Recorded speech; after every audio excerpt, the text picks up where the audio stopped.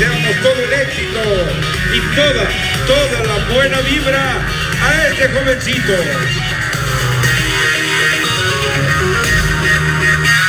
Ahí lo tiene. Máscara de bronce.